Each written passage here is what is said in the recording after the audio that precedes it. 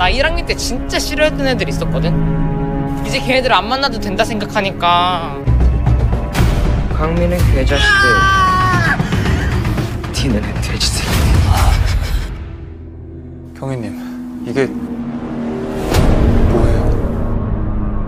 연쇄살인범이 너랑 같은 신석중학교 출신이던데. 경민아! 황경민? 중학교 때 이후로 만난 적 없어.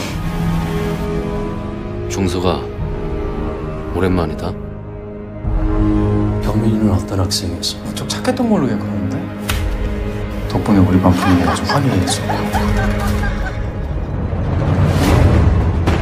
앞으로도 사람 계속 죽이고 다닐 거야.